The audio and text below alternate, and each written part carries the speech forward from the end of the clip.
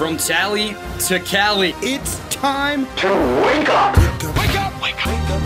WarChant.com is your ultimate Seminole sports source. And this is Wake Up War Chant, presented by Corner Pocket Bar and Grill One ball, corner pocket. Now here's WarChant.com's Aslan Hajavandi. and Corey Clark. That's how you let the beat build, beat build. That's how you let the beat build, beat build. Wake up! What is up, everybody? It's Wake Up War Chant, presented by Corner Pocket Bar and Grill. Coming up on today's show, it's just words, maybe on a screen, maybe playing through your speakers, but the words that came out of the coaches' mouths on Monday, I think it means something. So does Corey. We'll talk about it. Wake Up War Chant, presented by the Corner Pocket Bar and Grill, Tallahassee, Florida. 2475 Appalachian Parkway or on the internet, cptallybar.com. You can place your order to go online, grab it and go ahead, or just hang out. You should. It's great, especially on Tuesdays. On Tuesdays, because the lunch special, Corey, is usually 11 a.m. to 3 p.m. But on Tuesdays, Bill just gets, Bill's like, hey, man, let's do it all day. Yep. I'm going to give them tacos. It could be soft shell, it could be hard shell, beef or chicken, but make it go all day long. And then I want them to hang out to 7 o'clock or so, and then we'll play trivia, and I'll give them money because I'm Bill. And this is the hmm. corner pocket. That's how we roll. So go there, everybody. Corey, will you be there? Uh, yeah, I'll be there for trivia. I was thinking, I, my mind had already shifted to Saturday, Aslan, Hmm. because um, I don't know if I told you, but Stephanie took the Extra Point Club. Well, they had a they had a viewing party at, at Corner Pocket for the Boston College game. Ah. Which, you know, you know, if a face mask isn't if if a face mask isn't grabbed, uh, Stephanie might not have ever been allowed back in Corner Pocket. Uh, but they won the game. Uh, the Extra Point Club got to enjoy it, and it was a full crowded bar, as you can imagine, corner pocket for a Florida State game, especially a road game. So then I was thinking, like, man, if they beat Clemson this weekend, whatever the like three or four biggest plays are, we've got to get the security footage of it and show the reaction of the crowd. All right. Right? Isn't that always fun? Yeah, yeah. Well, I That's mean, what I'm when they win, So I- when they I- win, I- all this if stuff, but when sorry, they win, when they win, I want to show uh, Keon's 61 yard Mm. touchdown catch to ice it. I want to show Trey Benson just running over folks and Renardo Green's pick six, Azareye'h strip sack. I want to show all that. I want to Mm. sh- I want to show the reactions to all those plays. I think that would be good content on our YouTube channel. okay. Well, you know, we So could just throwing that out there. But yes, I will be there tonight for uh, trivia. Uh, hoping to. Well, no, we finished fourth last week, so Mm. Uh, we got to we got to bring up bring our A game. Well, I always wanted to see the footage from the LSU game last year after the block PAT. I saw it. Yeah? It's really cool because everybody's like kind of, as you can imagine, deflated, Yeah. and then all of a sudden they go crazy. Okay. The problem is it's the night vision. It's so you, Uh, it's oh, not Clemson a will color. be daylight. Oh, okay, gotcha. That's what. I'm saying. You know, it's a night because it's at night. It's a it's the night vision security footage, uh, which isn't nearly as enthralling as seeing it in live in color. You think- Plus, we got to get away where we can hear the sound too, which we can. Yeah, never mind. The, the security footage. By the way, I want to get this out there. He's got exceptional security footage. I want you guys to know that if you're thinking about doing un- something unruly, that you're you can't get away with it. Okay. So why though? It's just a bar. I mean, it's not like you know uh, merchandise for people to steal, but I guess you know people act the fool. You want to be able to Yep. identify who acts the fool. Yeah. Um, the the exposure in there is not all that bright, even during the daytime though. So I wonder if it's just always going to be that kind yeah, of. Yeah, that's a good question. We'll find out on Saturday. We will, we we post will. those things to YouTube. We will. Hey, everybody, if you haven't subscribed to warchant.com, we've thrown multiple offers your way. I don't know when they're going to come, when they're when they're going to expire. I think this is for the week, but this is a good one. It's the big game special, Corey. It's for new hmm. subscribers only. So just think about it. If you were subscribed to warchant.com, they probably would not have had a close game against Boston College, but you decided to be on the outskirts of this thing, to be on the outside, creates, you know, anxiety for the football team. So so join warchant.com. Let the guys know you're with them. You're totally behind them. They'll play well. They'll reward you for that. And you'll get 50% off an annual membership. That's right, 50% off an annual membership for the first year. New subscribers only. It's the big game special. Go to warchant.com. No promo code needed. Just uh, you'll see like a neon green at the top of the site. Click it, put your information in there, and uh, come home, man. Come on. Yeah. Yep. Come on. you on. waited too long. You've waited too long. Yeah. All right, Corey. Uh, as we sit here, we'll be going to practice later this morning, watching the team. Just we'll, we'll see just how much they'll respond. We'll see if this edge that Mike Norvell talked about on Monday, talked about on Saturday. We'll see if it's if it's there, if it's getting honed. Uh, but on Monday, we spoke to Norvell and all the coordinators. Uh, you had a really good question, really good exchange with Coach. Which you got to, I don't know, Corey, like, is you're having these questions with Mike, and he just goes on these like three minute answers, Yeah. and you got to stare back at him the entire time and be a, a courteous man. Like, do you do you sort of start regretting these things, or do you want to start feeding the questions to Matt or Ira or me so we can take some Well, I don't, I don't know, but at, at some point, it feels like we're falling in love. Like we, every every that's like the fourth time we've had like four minutes of uninterrupted eye contact, Yeah. where I can't look away, I can't transcribe because he's looking at me. I don't want to be rude. Um, and yeah, he goes on these long soliloquies. Um, but yeah, I what was funny about that one is I told Ira afterwards, I was like, man, should I have interrupt w- when he was done? Because that was the last question, mm. and it was a great answer. yeah. Or uh, I wouldn't. I shouldn't even say it was a great answer. It was a great soliloquy. It mm. wasn't quite the question I asked. Yeah. It wasn't really an answer to the question I asked. So that's what I told Ira. Is like, should I have told him like, oh, that was awesome. Can you now answer my question? Which would have been funny. But it was a go on the go on the video and watch it uh, on our YouTube channel. Uh, you'll see it. It, really was a, a, a good answer. The question was, um, how do you how do you draw the line as a coach from using the negative of Boston and all the bad things that happened in that game to learn lessons, but also, you know, they went on a 28 nothing run in that game. They went on a 38 to 3 run against LSU. They went on the whatever 66 to 6 run against Southern Miss. Like eh, they've proven in all these games when they play great, they're awesome. They're one of the best teams in the country. So how do you you know, poke and prod and show that, you know, let them know this isn't good enough by also letting them know they're good enough to win everything. And so that was where the answer came from. And he kind of, I don't even know, he meandered into a lot of different areas, but basically said they they're the, they tell the truth with them, right? They tell Yeah. them what they're not good at. Yeah. They tell them what they are good at. Um, and you know he believes in that team, and I do too, honestly. Um, but they he believes in the team. He believes they'll come back from a poor performance. Uh, I think, just judging from him, I think he thinks they're going to play really well. They I might not win. Maybe it won't be good enough. I'm of the opinion is if Florida State plays well, They beat they everybody. win the game maybe comfortably Yeah. uh, I'm there. because I think they're just that good.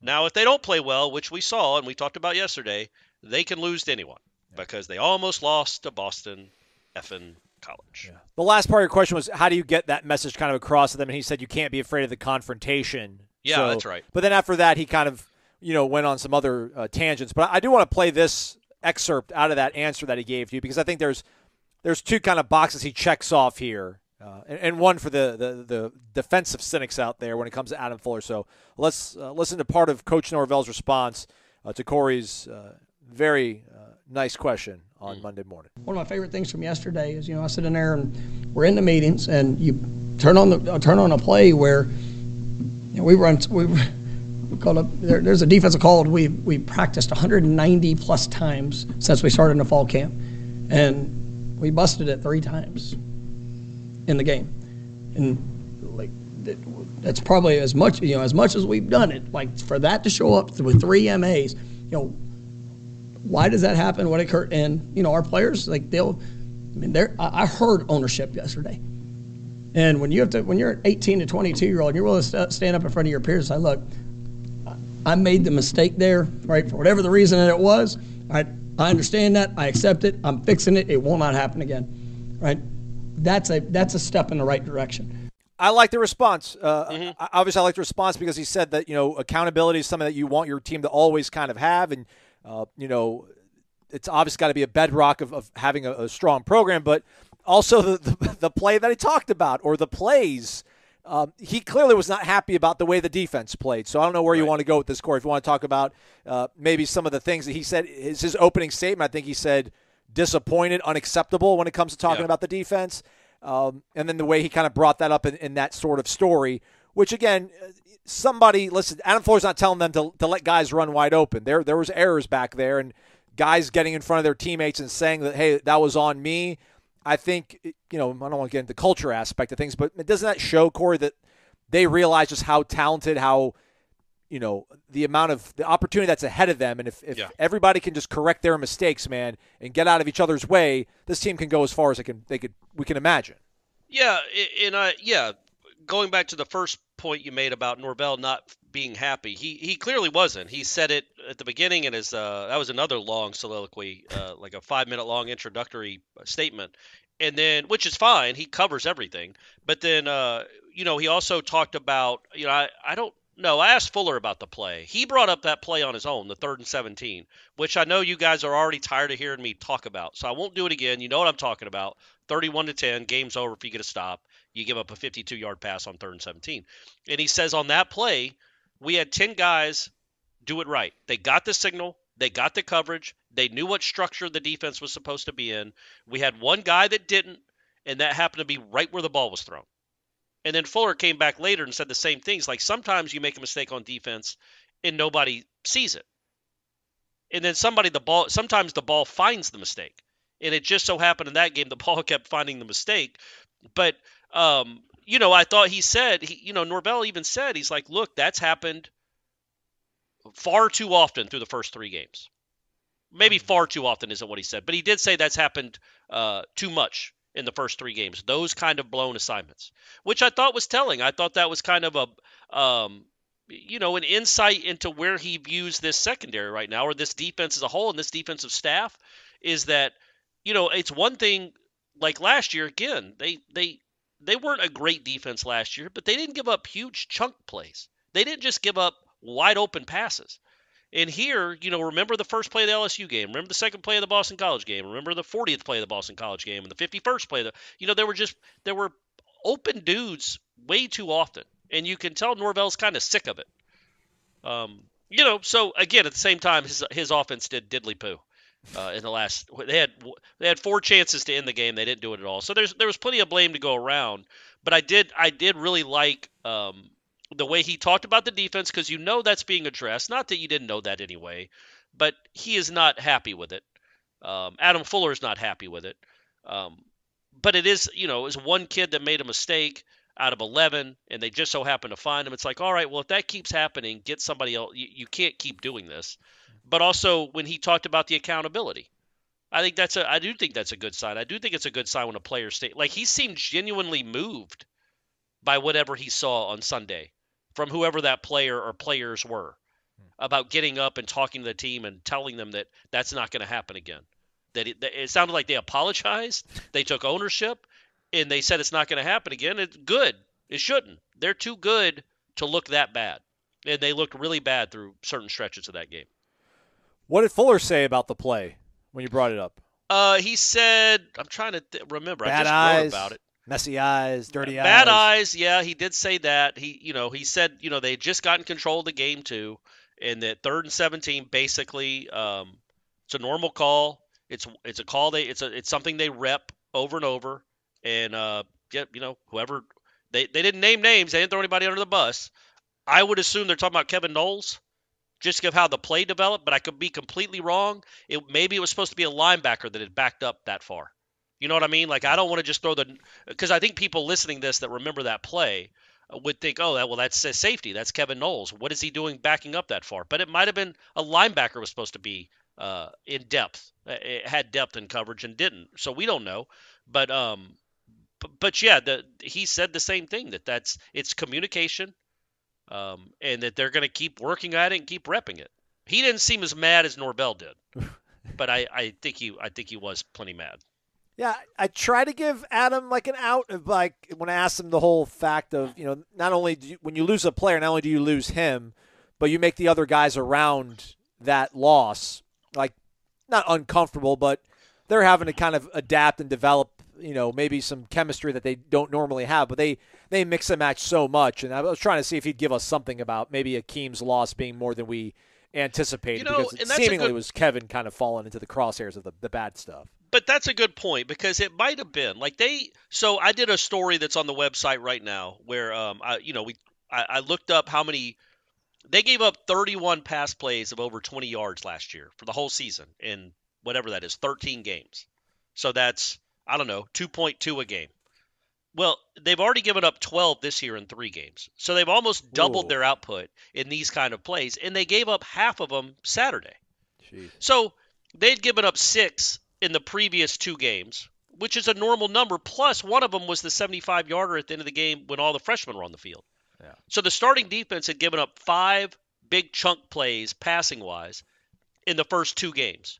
And then they gave up six in the game against Boston College. Is that a coincidence that Akeem Dent's not on the field? I, I don't know. And one of the pass plays they gave up, the only big pass play they gave up to Southern Miss, was with Akeem Dent on the field. And then grabbing his hamstring. So I don't know. It might just be a coincidence, or they might really miss um, him knowing where to be because he's played so much more football than Kevin Knowles, certainly at that position. Um, and that, you know, then you wonder, okay, is he going to be ready this week? Uh, because is he that pivotal to the defense? Because that that's the thing, Aslan, is like last year they didn't give up it. They didn't give up a lot of these plays. No, no. But they got run on. Mm. Well, now they don't get run on. Like they've they've hemmed that up. Like I, you know, that Boston, like I said, that the Boston College running backs, I think had 57 yards on 24 carries or whatever it was. Now I know they ran for whatever they ran for, but that's the quarterback.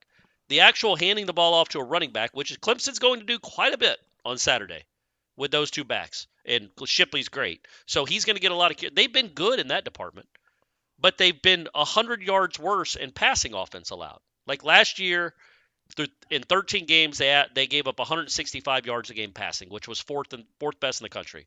Right now, they're giving up 268 yards a game passing, which is 102nd best in the country. Hmm. That's how far they've fallen. Now, the flip side, there's two reasons. Number one, their offense is so good that everybody throws it a lot. I think, like they they've been, you know, they, and some of it was garbage time too. LSU had gar- a garbage touchdown. Southern Miss had a garbage touchdown. Um, Boston College had no garbage touchdowns. Those were all you get. Those Quality, were all important. Yeah. Quality important. But also, they know. I, I, think opposing teams know they can't run on them.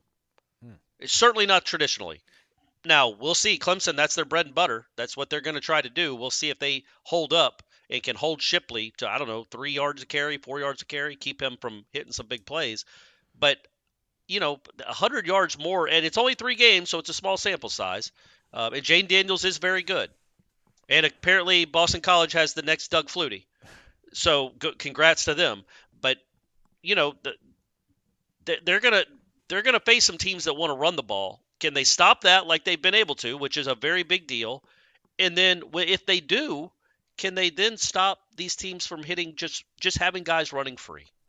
Just having guys running free. And don't you think though, Aslan, that that film, the way these coaches talked on Monday, and that film that obviously they watched Saturday night and Sunday, and then showed the players on Sunday, maybe even Monday too. I don't know.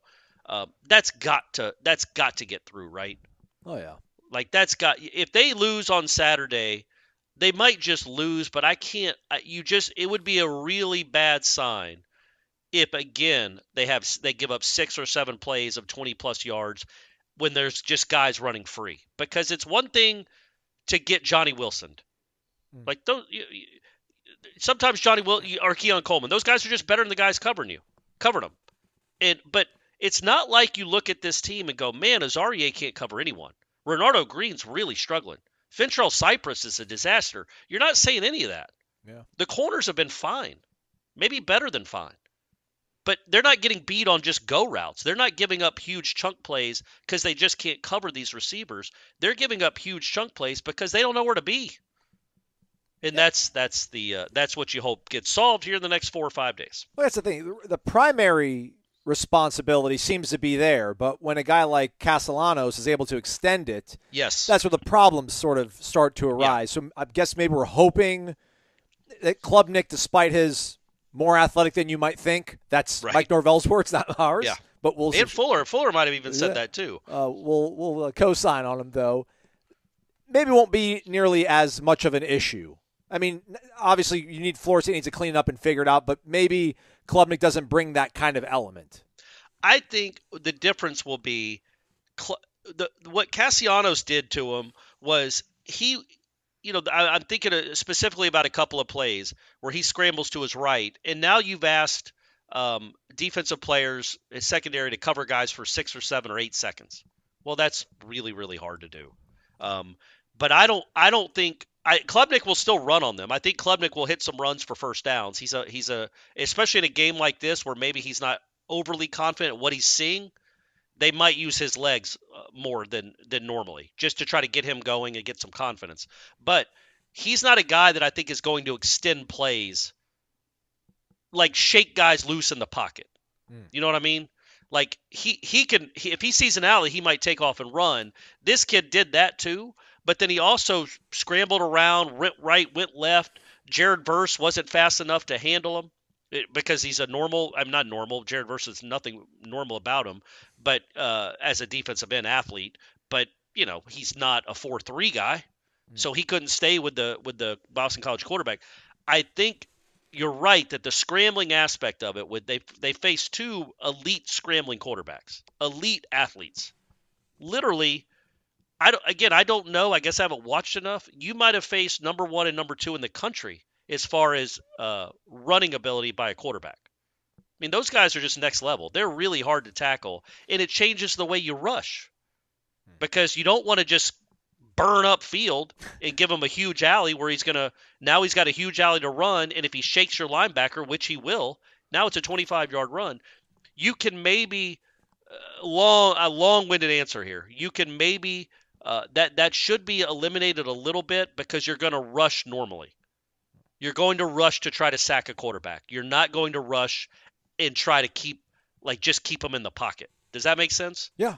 so Yeah. the scrambling won't like being able to scramble for eight or nine seconds. I don't see Klubnik doing that nearly as much as you were worried about with this kid and then Jayden Daniels too. No worries when you've got vitamin energy on your side, especially the Mood Plus.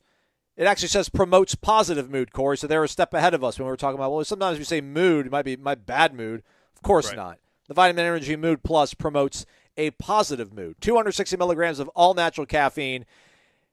That's your energy. But then there's also vitamins. There's vitamin B6, vitamin B12, and then the stuff that promotes the good mood the chamomile flower extract, some lemon balm extract, passion flower, valerian root. Get you nice and relaxed, feeling good. You should. The Noles heading to Clemson. They're going to snap the streak. I'm saying that because I've got the Mood Plus through my veins. So do it as well, everybody. Go to vitaminenergy.com. Put in the promo code WarChantBOGO. That's WarChant, B O G O. And then add another item in your cart. It'll be free if it's of equal or lesser value because that's how it works, the BOGO thing. Courtesy of our great friends over at Vitamin Energy that are Florida State alums uh, running the show over there. So, again, go to vitaminenergy.com, promo code WarChantBOGO, WarChant, B O G O. Shake it and take it. VitaminEnergy.com. Corey, defensively, I wanted to bring up some stuff we'll, we'll get to here in a minute. But I want to get back to this the edge, uh, this edge that they need to play with, this edge that Mike Norvell said the team might have not had, or I think he actually said they did not have it clearly uh, after Yeah. the game, and he said it on Monday as well. I think we both have an idea of kind of like what that is, like this killer instinct, like you know, you know, keeping your foot down, whatever, whatever violent terminology we need to use here. Uh, can you? Is the only way you develop it going through moments like Florida State went through against Boston College, or is that something that is intrinsically wired in you, or you develop it in the in the preseason, in these trips to Jacksonville and such, when you're trying to come together as a team early on in a season? Because uh, they they need it, man. Uh, I, Yeah. I, I don't I don't know. Like, can you call upon it now? If, if it's not there now, like, can you can you find it now? You know. I mean, I just think it's there. I, I you know, I again, Orlando wasn't that long ago. And and again, yeah. six days later, after the biggest win any of those kids had ever had, they came out and were up thirty-one to three at the half. By the way, not a great showing for Southern Miss after that, but they they held Tulane to twenty-one points. Yeah. Uh, they only scored three, but they held Tulane to twenty-one points, and you put up sixty-six on that defense. So, uh, or fifty-nine, I guess. Jarian, you know, he he had his own, but Represent. you know, I I think, you know, that they certainly an edge should not be an issue this week. That's and so that I think Norvell was disappointed in that that they you know they were up 31 to 10 and then just lost focus. Uh, he brought up the fact that they had five penalties. Um, The exhale the stuff game. again too. He did the exhale yeah, thing where you know. but you know he talked about how they had five penalties in the game. All five came after they were up 31 to 10. that's a Uh, good he point. said four yeah. of the five were focus. Um, I don't know if Keon's OPI he considers that one or not. Um, but he said they were focus penalties up 31 to 10, and that was his message: is like, man, when you get a team down, stomp on them. And what's weird about it, Aslan, is they had the first two weeks. They didn't give Southern Miss any hope at all, and they certainly didn't give LSU any hope after they got a two touchdown, uh, a two score lead. They put their foot down and ended that game. So they do have an edge. They have shown they can play with that edge.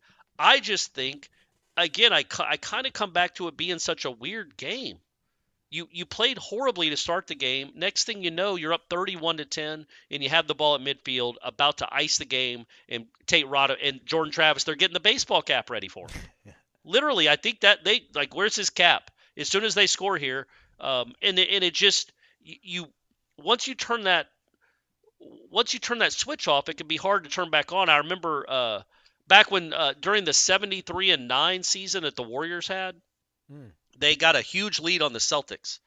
Um, and like literally in Boston, they had like a 31 point lead in the second half or a 29 point lead in the second half. They took all the starters out. The subs came back in. The subs came in and immediately gave up like a 25 to 5 run. And with five minutes to go in the fourth quarter, the Warriors were only up by like six points and they had to put the starters back in. And the starters didn't play well, ends up going overtime and they win then. And I remember the, the quote from Curry, Steph Curry after the game is, Yeah, you never, it always sucks to have to win a game twice. Hmm. Like they had won the game. They thought that, or let me put it another way, they thought they had won the game. And I just think, you know, after they'd done what they'd done the first two weeks, as good as they looked, and the fact that they hadn't even played well and they're up 31 to 10, it's just human nature to say this is uh, good, we got it. And then one kid out of 11 doesn't pick up the signal on third and 17, and the next thing you know, and then Trey Benson doesn't fall on the ball. Toafili gets stripped of the ball, which never happens, um, and and then you're in a game. But you know, I, I don't. I just think it, I just think it was a. It felt like a one-off to me, just a weird one-off game. And again, we'll know more, or will we? Like, there's no way they're not going to play with an edge on Saturday, right? There, there can't be. Yeah. And there's no way they're not going to be dialed in this week. So, win, win or lose, I think you find out what this team's mindset really is. Virginia Tech's a great example, man. Syracuse. Like, I know you're going to get up for Clemson, man. You you don't. We know that. Now, if you're three and one, or well, you're going to be either three and one or four and zero going into Virginia Tech after an off week. How are you going to approach that game? How are you going to approach it when you're up 31 to seven on them? Are you going to make it 55 to 10, or is it going to be a game in the fourth quarter and Jordan Travis is still having to play? The, I think that's for this particular problematic game. I think that the the the the Virginia Tech game and Syracuse games will be a better litmus test. For this one, it's just about can the offense get itself together and can the defense stop giving up wide open passes? And misdirection. They kept talking about misdirection too. Like they use their speed against them. Norvell said that a couple of times. Like defenses or offenses are, and I think Fuller did too. Offenses are doing a good job of using our speed and pursuit against us. It's like, well, okay, well now expect it, because they will. I, I can promise you in the first couple of plays, they're going to fake a handoff to Shipley, and Klubnik is going to roll back to his right. Don't let a tight end be wide open right there for a 26 yard gain to give that kid some confidence. If he runs for eight yards and gets slammed out of bounds, okay, that's fine. Do not let this kid get going early because you're giving him those stupid layups. And so we'll see. That's that to me is what I'm more focused on than the edge. I hmm. think he just thinks I think this team plays with an edge. They just lost it for, you know, that that that 45 minute stretch in Boston. Ah, that's a good point, though. I guess they, they displayed it against LSU, so it's it's something that he feels they have, they possess. In Southern Miss, right? Like, I think that let's not dismiss the fact that what they did on defense against Southern Miss. Like, True. they they dominated that offense. Although again, Like the- they, they only scored three points against Tulane the following. No, I know, but too. it's easy to like be like, well, we we we just played six days ago. Yeah. We're awesome. This team isn't very good. We can take it easy. They were dialed in, and when they got up, they stayed up and beat the bejesus out of them. So I thought they they showed it those first two weeks, and then that's why Saturday I thought was so surprising because didn't you didn't you think it was going to be forty five to ten? Oh, absolutely. I mean, I picked like forty-nine to three. No, I'm saying once they got up 31 to 10 and then got the ball back, I'm like, well, this game's about to be 45 to 10. That's what I thought, and that it just didn't happen. But you know, they did have a 28 nothing run, so there was something positive there. Yeah, I mean, when they went up like when they went up like seventeen to ten or something, I'm like, yeah, they're gonna end up covering. Like when it was winding down the half, I'm like, they're gonna probably get the ball back, They're going to do what they do, which is that period three sort of scenario. They're going to run down the field and score one more touchdown. And they're going to go into half up, you know, by two scores. They didn't, but they still came out and went on that run anyways. I'm like, yeah, Yeah. they're going to they're still going to cover. Uh, but the edge was not there. But the edge uh, does reside in them, which is a good thing. Um, going back to the defense, I mean, actually, let me keep with offense. When you say get their act together or whatever terminology you used back there, like two minutes ago, Corey, like, Yeah. what what is the, the umbrage you have with the offense currently? Uh, Because really real, just real quickly, because I know I said on the show yesterday, like there was nothing good about that game, uh, really, other than the fact that you won. I think the offensive line still played well. I mean, Yeah. that, that Boston College defense was throwing some exotic looks at them, and that offensive line held up quite well. But what do you think it looks like for this offense to get its act together or get back on track? What were you well, thinking? look, man, you, you can't have OPIs on fourth and one. Uh, you know, I asked Norvell about that. He said it's kind of a bang bang play. He thought if the ball's thrown behind the line of scrimmage, it's fine for Keon to be doing that. It wasn't. It was thrown a half yard in front of the line of scrimmage. He also said that Keon could run him off. Like Keon can just run a, a go route to get that cornerback out of the way. He chose to engage. Seems like that's something they need to figure out for the next time because it was an awesome play call. But just those little mistakes. Um, and quite frankly, you know, Jordan Travis, who I thought played a, a perfectly fine game, that's almost too dismissive. Jordan Travis is really good, folks. There, you know, there are questions today. I listened to Jeff, love Jeff's show, but questioning about how well Jordan Travis is playing, and it's like, man, I just tweeted this before we started the broadcast, uh, started recording. Before those last four drives uh, of the Boston College game, which count, they do count. Jordan Travis in the first team offense had scored on 17 of its last 20 possessions. 17 of 20. They had an 85% scoring rate in their last 20 possessions, and 14 of them were touchdowns. So the Jordan Travis has been playing great. If you just kept, you know, if you care for production and points and touchdowns, um, but I, I thought that throw to Johnny, I, I don't, you don't need it in that spot. There's a first down right there. Keep the chain moving. You don't need a 25 yard gain. You need a five yard gain and keep the chains moving. Toafili's right there. Um, Isn't that know, the thing, though?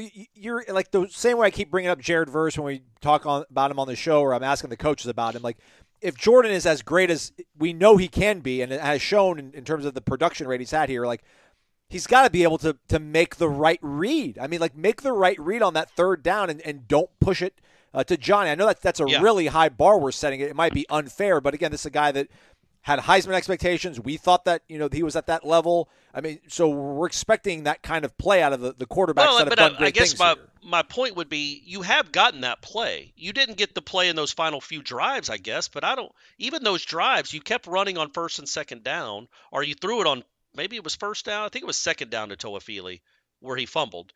Um, and as Norvell alluded to, and as you pointed out astutely yesterday, that's going to be a huge gain if there's not a miscommunication. And I think in that instance, Keon was supposed to block and Yes, didn't know it. I think I think he got in his own head because of the OPI. Like, all right, th- this time No, I no, run this guy off? now that explains it. So no, because the OPI was later than that. Oh, okay.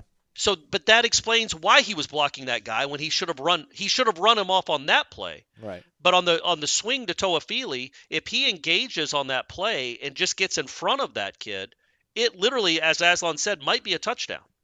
It's at least going to be a 40 or 50 yard gain unless somehow a guy tackles Toafili one on one in huge open space, which doesn't happen.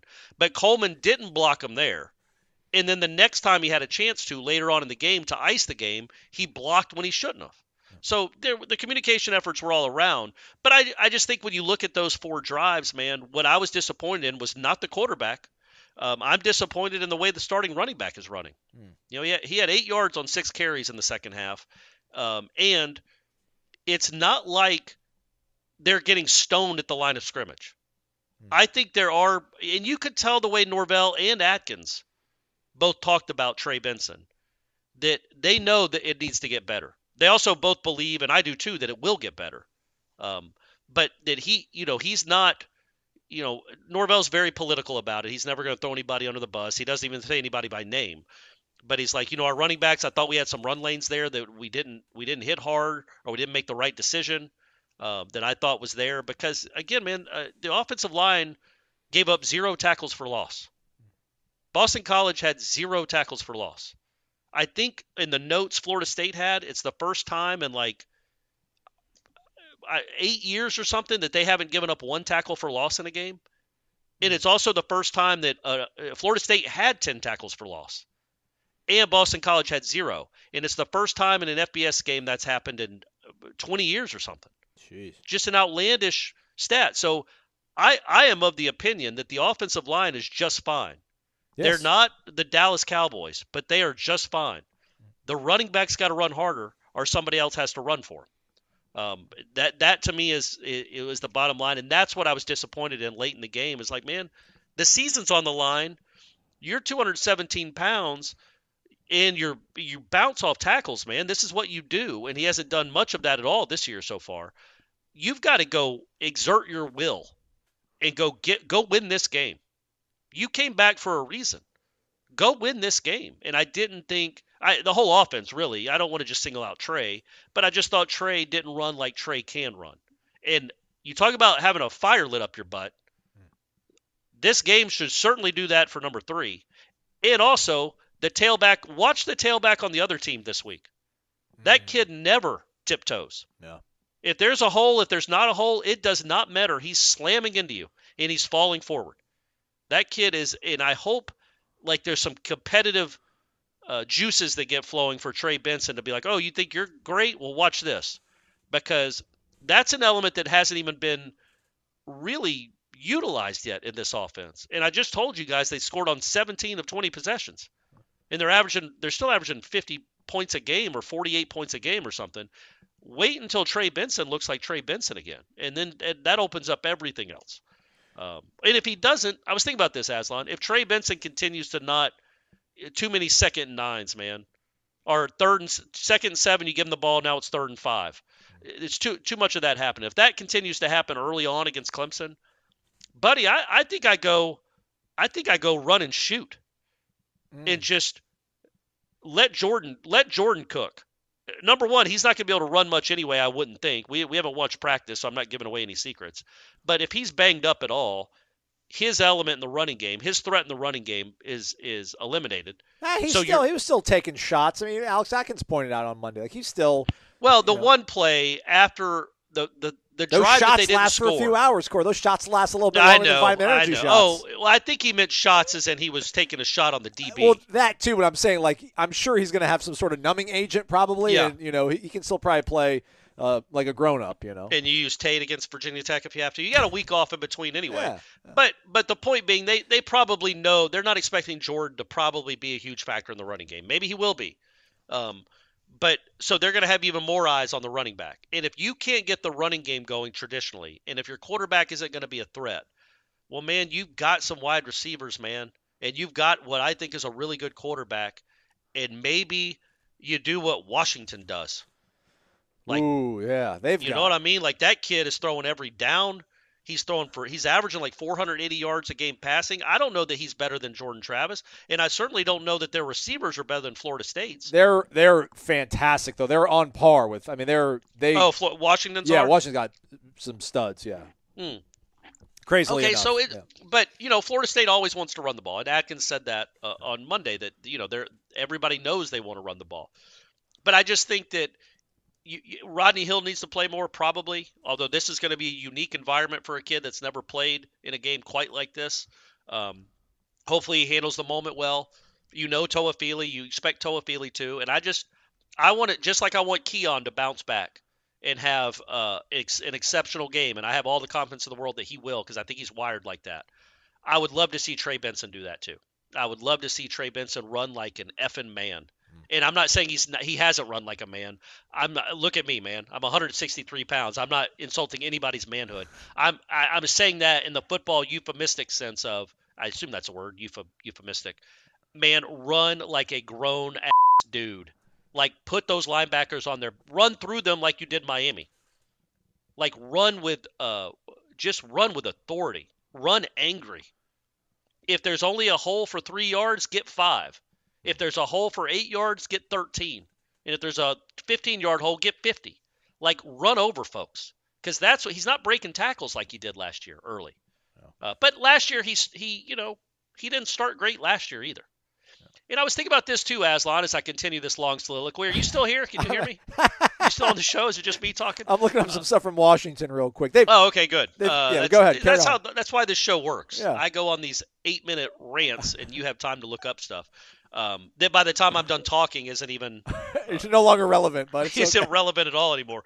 But you know, when you don't ever get tackled in practice, which Trey Benson doesn't, no, no running backs do, and then I don't know what he had the first two weeks. I know he had what do you have eight carries against Southern Miss. He might have had 12 or 13 against LSU. nine against uh, Southern Miss. And how many against LSU? Can you look that up? I can look it up, but not. So I, I think he might have had 13, maybe something in that neighborhood. that sounds about right. So less than 25 or right at 25. Well, you know, the more at bats you get, the more reps you get, the more comfortable you are. Like he doesn't he he's only been hit or he's only had people try to tackle him. But going into that Boston College game, 25 plays in the last 9 months. So it's it's something you I think it's almost like I don't know that it's exactly like riding a bike. Like you've got to get your body accustomed and used to running people over again, to contact, where guys are really trying to put you on the ground because nobody's tackling him in the legs in practice. So I feel like maybe that's why you know he should get better because now he's getting more reps. He had 16 carries in that game, I think, uh, against Boston College. So he should be learning from this more. Now he's got real um, you know, it's like facing live pitching in Major League Baseball. You can get in a batting cage all you want, but the reps that matter are coming from a real pitcher. And and I think that because that pitcher is actually trying to strike you out and not just throw it right down the middle. So I, I think hopefully the more carries he gets, the more rhythm he gets. And it's not just in a game; it's in a season. Like I said, he what what I don't what did he have carries wise? Twelve. He had twelve against Boston College, twelve against LSU, nine against Southern Miss. So he's had 33 carries total in this season. Well, J- Jim Dalvin would have that in one game. Now, I'm not comparing Trey to Dalvin as far as talent level, but uh, you know, some of these running backs, these really good running backs, Shipley, for instance, they'll get 20 to 25 carries in a game. So they get used to really quickly people trying to tackle him. Well, he had 12, 9, and 12, and those are the only times he's tried to been tackled in the whole, in the, like I said, since the Oklahoma game. So, uh, so yeah, I, I think that as the season wears on, he will look more like the Trey Benson we're used to. I would like to see that start on Saturday, and if it doesn't, either play 29 more or go five wide, four wide, and let Jordan just tur get his Penix on. What did you think about Norvell's response to your question about Keon and, and his involvement in the game? A little, little sassy, a little sassy, I thought, from Mike. Um, when he was like, "Yeah, we don't go into a game thinking that oh, we're not going to give the ball to our." But then know, he kind of, in the moment, kind of questioned himself, and it's like maybe we should force it more. And he, he wasn't saying that sarcastically. yeah, it was almost like he was talking to himself like you know maybe we should force it to our and he goes i don't want to say the word force but we should come up with ways to get our best players the ball. And i'm like yeah you think? I mean he might not ever coach another keon coleman. You think he will? Maybe Hakeem's that guy. Maybe Vandrevius is that guy. Maybe who somebody else in the coming up in the system is that guy. But keon keon is a uniquely skilled wide receiver. He is one of the best at what he does in the entire country. If you're in a two point game on the road with Boston College, you can't look at the box score at the end of the game. It's not just that he had zero catches, he was only thrown the ball twice. And they were both jump balls. Like you're telling me you don't have any other. And this is look, they were scoring just fine and moving the ball just fine. I'm talking more about um, once the game, once it was 31 to 10, take a shot with my man. You know, they, wh- what happened to the play against LSU, the first touchdown? Where's that? And if they're rolling that kind of coverage over there, somebody's got to be. And Jaheim was. Johnny had a nice day. I just think at some point, there's no way Keon is double covered on every play. And there's no way he's covered one on one by a cornerback well enough that he can't shake loose and get open. I think you need to dial up more plays for him because he's too good. He's too good to sit there idly by and really be a net negative when you think about the um, the punt return that was almost a catastrophe, the OPI, the missed block on Toafili, and then the 0 for 2 on 50-50 balls, and the two yard run on third and three. yeah. So uh, you just you, you I, I just think that's part of the job as a coach, and he's done a great job for the most part. He does get these playmakers the ball in space, uh, and they usually do really well. But I just feel like you know Keon, get Keon, Johnny, and and Jaheim going all in the same game, and good luck. Yeah. That's a wrap. By the way, UW's got three receivers with 300 or more yards, and they've got a tight end uh, that's got 100 yards receiving and four touchdowns. So they got Rome Odunze, who is a four star from Bishop Gorman in Vegas. Jalen McMillan's a four star they got uh, out of high school too, and then uh, this Polk kid transferred in from Texas Tech. So they've they've got some dudes. And Well, they're Penix putting up guy- numbers. Yeah, man. But are they like are they going to be I think the Odunze kid is. I think he's like a Like prospect. draftable, yeah, like yeah, Keon and Johnny? Yeah, yeah. I think Okay. he's a prospect. So, uh, yeah, man, they're uh, they play big boy football in Seattle. Shout out. to No, them, I man. know. I just didn't know if they were product. You, you see a lot of receivers put up huge numbers that are more a product of the system. They're still good, but are they the NFL caliber guys that we think Johnny and Keon are? That's that's what I meant. MyBookie.ag. Use the promo code WARCHANT for an instant cash deposit bonus. Florida State still a one and a half point favorite against the Tigers this noon Saturday in Clemson in Death Valley. 55 and a half the total points. I like Florida State in that game still. I, I'm really curious what Scott Van Pelt's going to say. Uh, he's like, oh, Clemson at home, getting Yeah. points. Um, but it's like, come on, Scott, don't get don't get lazy on me here. Uh, Yeah, but it's not wrong. yeah, yeah. Heisman Trophy odds. Jordan's odds have uh, slimmed down. He was like plus 1,200, plus 1,150. Now he's plus 900. Only Quinn Ewers, the aforementioned Michael Penix, and Caleb Williams uh, with odds that uh, are better. Although they're You not know- better because you wouldn't make as much money, but I digress. Yeah, you know what helps him, and I know we're in the middle of an ad, so this is this is for all our my bookie fans. Is he will? It would appear the way the teams on the schedule are playing, he's going to have more marquee games than we thought, Mm. or more games where people are paying attention than we thought against ranked opponents. Yeah. So that always helps when you're chasing a trophy. Just throwing that out there if you're interested in the plus 900. And Florida State as a team plus 1250 to win it all. Ohio State, Texas, Michigan, Georgia, the teams ahead of them. So I, I would assume plus 1250 will get whittled down after they defeat Clemson this weekend. So hop on it now. Go to mybookie.ag. Be responsible. Set a budget. Follow it. Discipline. Do it. Use the promo code WARCHANT for your instant cash deposit bonus. Bet anything, anytime, anywhere over at mybookie.ag. Last thing on the way out, Corey, uh, defensively, I know, I know you asked Fuller about the, the thought process that went into blitzing Azareye'h towards the end of the game there. I think Renardo came on a, sa- on a, on a corner blitz and got a Yeah. sack in that game as well. Man, I I don't think they're going to, you know, change their identity on defense. It seems like they like what they have in their front four, which I think everybody can agree is really talented. They got really good cornerbacks. Those linebackers are good enough. Man, there was I think that I don't know if I don't know if it wasn't the fourth down, uh, but man, there was a there was a stop on the goal line where Castellanos was about to score or tr- get close to the, the first down marker, and he kind of put his hand on the offensive lineman who was in front of him because he's like, I'm just going to follow you the entire way here, big dog. And Tatum Bethune came in and absolutely like leveled that offensive lineman. They all went down in a heap. So, uh, you know, they are who they are defensively. But man, it would be nice. uh, You know, I'm not saying like go hold Dick LeBeau amoeba defense guys just roaming around. You don't, but man, it would be nice to see some diversity in, in play calling, a little bit more. I don't necessarily want to say being more aggressive and blitzing guys, but just this kind of like, man, this is the way we line up every single time, seemingly. This is what we're going to run. I, I don't know, man. Have we seen stuff in practice, not specifically, but that there might be some different looks that we anticipate them rolling out against Clemson? Because that would be nice, I think. I have not. I think they kind of say this is what we are. Um, now that might be changing. Um, I, I would what I would like to see Aslan is you, you faced the kid that was making his second start, and I don't think he he didn't seem confused by anything you did. Yes, exactly. And now you're facing a kid who's making his fifth start, and by far the biggest start of his career. And there's going to be real pressure on him. Like obviously there's pressure on Florida State, but there's pressure on this kid because yeah, man, I know they they played well against uh, FAU and and Charleston Southern, but it's number three Florida State rolling into town. Like this, he has never played in a game like this either, and it would be really nice to confuse him yes. Figure out a way to confuse them. And I don't know if that means, you know, blitzing guys up the middle and then letting pull Peel and Verse back into coverage or Peyton back into coverage, like changing sight lines, getting in the way of, you know what I mean? Like, um, I think they did that a couple of times. Boston College. They did the, where- the, the first the first third down where where they had to sell for the field goal. They they they showed six, they ran six, but at the last second, the defensive end stopped and started backpedaling, and he got Yeah. that throwing lane. So yeah, That's right. He got in the throwing lane. That's right. Um, So I would like to see a little bit more of that. Um, you, obviously, just play sound fundamentally. Don't get run over, and don't let Shipley take over the game. And you like your chances.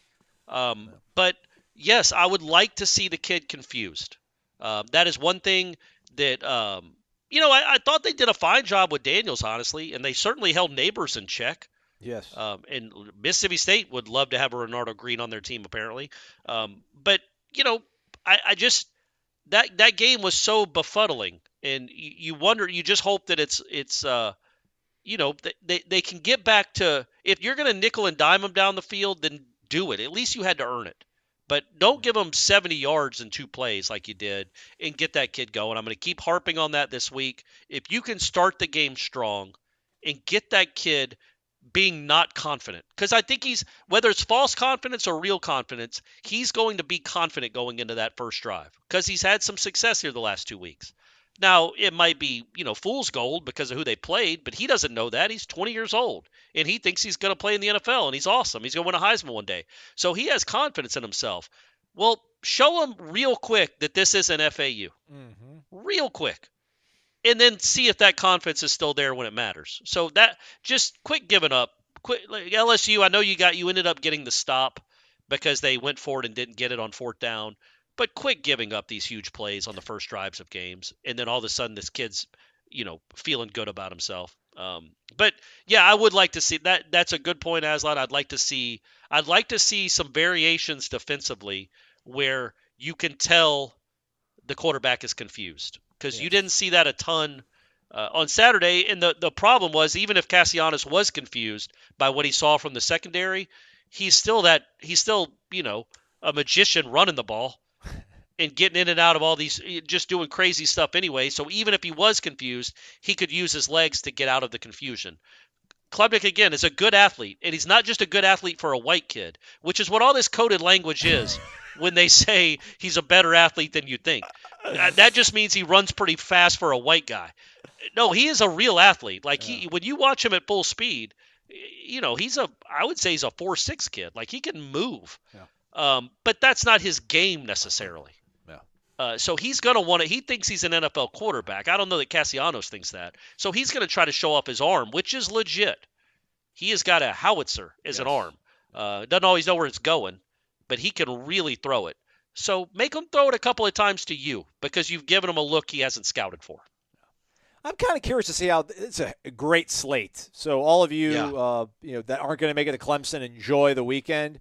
Uh, low key, kind of excited to see. I'm going to check the box score for sure with the Louisville Boston College game because Hafley, man, Hafley was really crestfallen after the game and, and kept saying like he coached that game to win against Florida State, like he Yeah. respected the hell out of them. But he also said like this team has grown. I, I, I think he might even said that this might be the best team that I've had since I've been here at Boston College. So again, whatever happened against Holy Cross, certainly they did not play that way against Florida State. So curious to see how they're going to look against Louisville if it's And more, how that kid looks in particular, right? Yes, yes. Like, can Louisville hem him up? Yeah. Because Florida State, he had 400 yards against Florida State, and Florida State should have a better defense than Louisville. Yeah, so that, that Boston College fans like, all right, like this is what's we'll know how Thomas really is. We saw Holy Cross, saw Florida State, now we know who he really is. Yeah. And then you at home is like, all right, we've seen the way they looked against LSU, we saw the way they looked against Boston College. Now we're going to see who they really are against Clemson.